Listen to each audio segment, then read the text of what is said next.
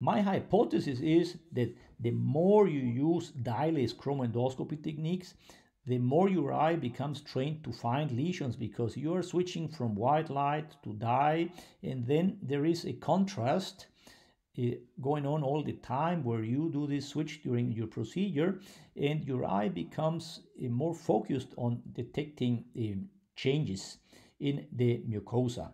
So this is something that's just a hypothesis, but I have found that from the moment that I started to use any type of advanced imaging technique, that my detection rate and characterization of lesions improved because this is what we want to become. We want to be polyp detectors and have high percent of polyp finding.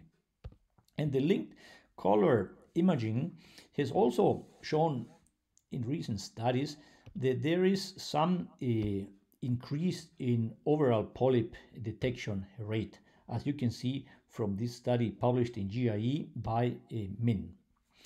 And now we go to more specific detection techniques and characterization methods, which are mainly used uh, in research settings, but are being developed for practice. Molecular imaging actually involves the injection of contrast into the patient's vein and then to use a special endoscope that looks at these uh, antibodies or these markers.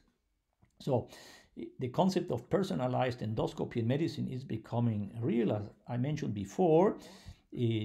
These antibodies are injected. Generally, they are useful, these methods of molecular imaging, to detect inflammation in patients who have, for example, Crohn's disease, inflammatory bowel disease, ulcerative colitis.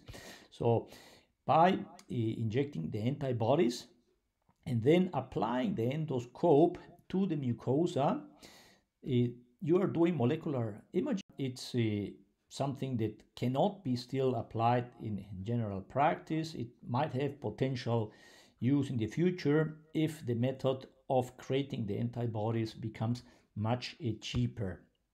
Here, Berggraf uh, showed some instances where with cyanin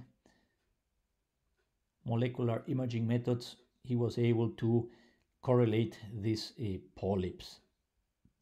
But we go back to what I had told you before.